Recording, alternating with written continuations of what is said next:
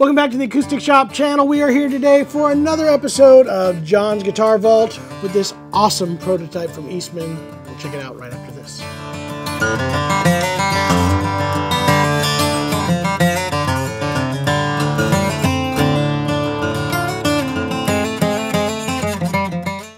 All right, so we are back one more time. Uh, this is my favorite deal to talk about. All, all, the guitars that I've collected over the years, and uh, this one's definitely one. Before we get into it, I uh, definitely want to encourage you guys, if you have not done so yet, please hit the like and subscribe uh, buttons, and uh, make sure you do this, because this is fun. I love getting to talk about guitars, especially some of the cool ones that I've got to see or have collected over the years, and you will get to know all about each one of those videos as they get done if you do those two things as well as, you know, share it and comment and let us know what you think. Anyway, this guitar is something that I've had and I'll be honest with you, when I got it, I didn't know how much uh, use it was going to get.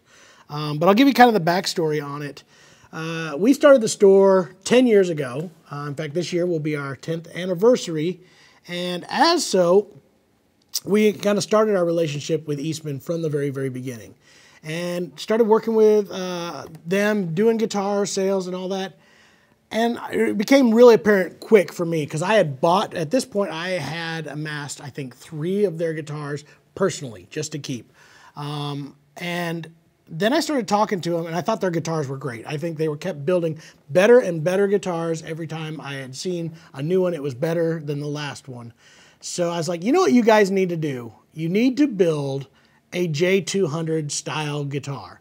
Um, and my pitch to them was this, is nobody's really doing it in a price point that they, I knew that they would hit, which, you know, at that point, you mostly, to do this, you either had an actual Gibson Super Jumbo 200, or you had the Epiphone version of that, which was like a three, four hundred dollar uh, laminate uh, version of that guitar so now you had this multiple three, four thousand dollar guitar, or you had a guitar that sat in the you know uh, you know six hundred dollar. I don't know exactly where those price at, uh, and nothing in between. And I was like, you guys, knowing the quality that they were able to build, would build probably one of the best ones out there, and yet be able to do it under two thousand uh, dollars, which I, you know I thought was absolutely screaming deal. So I hounded them and I hounded them. This went on for probably two or three years and you know got to know even more people in the company. Our rep uh, Tim Nelson at the time was uh, you know the guy I really hounded, and then I got to know quite a bit of the uh, people that were in product development as well. And uh, so then uh, a summer NAMM comes up. And it was like, oh, I don't know. I think the day before we left, I get a call from Tim because he's going to be at uh, the Summer NAMM show. And he's like, John, I got something you're going to want to see. Uh, it's, it's, awesome. You're going to love it. So I get to the NAMM show in Nashville, and Sitting off the side, he says, John, I got something. You're going to love this. Check it out. We pull it out, and it's this guitar. And he goes, they did it. They finally did one. I said, what do you, what do you mean they did one? He says, yes, we now officially have a jumbo style guitar.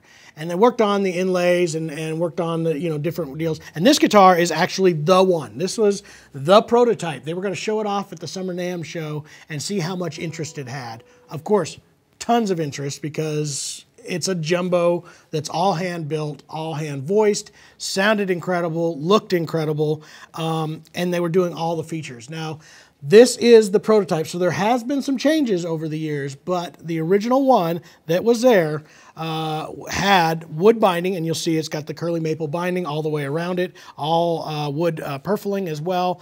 Super high grade uh, maple back and sides, which is really hard to do on this level to get this level of uh, maple, you know, and do it affordably. That was crazy. Uh, it, they were having problems sourcing big enough pieces to do the jumbo. And then this one has the European or Engelmann uh, style uh, spruce top. Now, it's a, I think they listed as European spruce on this one.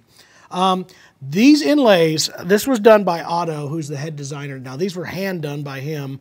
They have since changed them. And if you notice the difference on this, was this one has these, it's a mix of abalone and pearl, and it was kind of be homage to the original J200, which had the crowns, you know, the big crown inlays.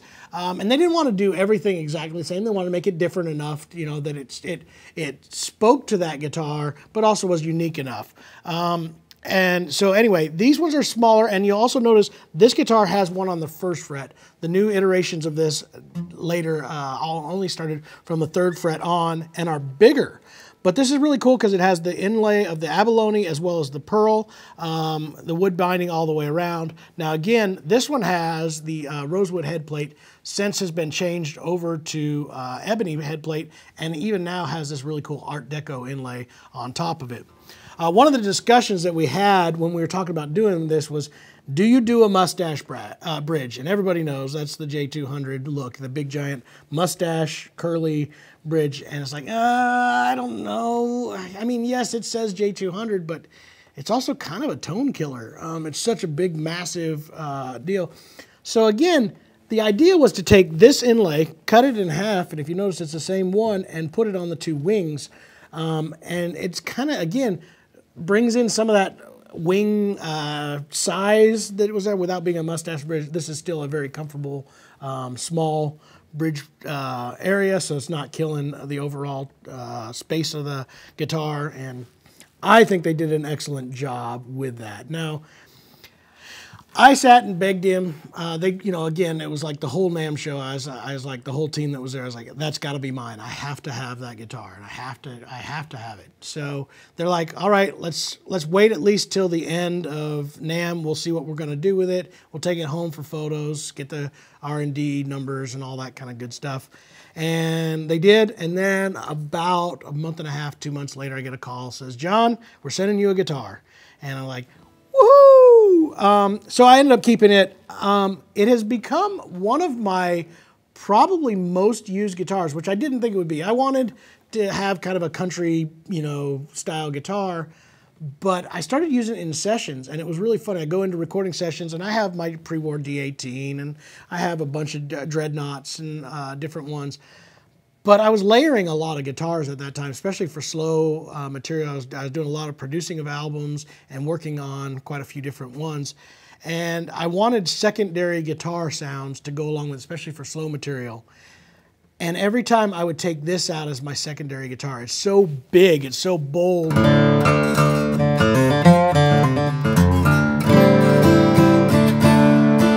mean, it's huge. You put it, you know, anything in E and I did a lot of, you know, vamping stuff.